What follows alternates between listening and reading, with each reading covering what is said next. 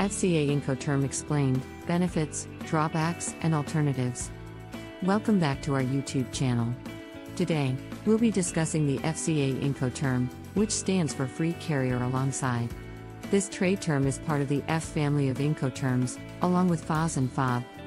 It's often used by suppliers who want to avoid delivery responsibilities in international transactions. In this video, we'll cover the principles of the FCA Incoterm, its obligations for both the buyer and seller, and how it compares to the FOB Incoterm. The principle of the FCA Incoterm.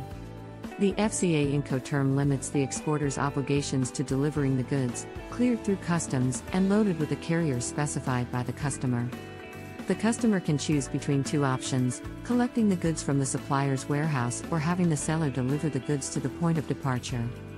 In both cases, the seller must provide all necessary documents for the export of the goods. Incoterms 2020 introduced some new features for the FCA Incoterm, such as the possibility for the seller to obtain recognition and an extension of the FCA, DAP, and DDP Incoterms to transport by the customer's means of transport. Precautions to take. To avoid ambiguities when using the FCA Incoterm, you should negotiate the cost of passage through the warehouse and define the packaging procedures for the goods. Obligations of the seller and buyer. Under the FCA Incoterm, the seller is responsible for packing and labeling the goods, loading them onto the customer's means of transport, and completing the customs clearance procedure in the country of export.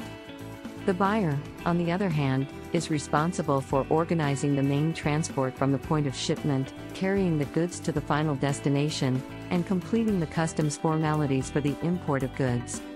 Similarities and differences between FCA and FOB.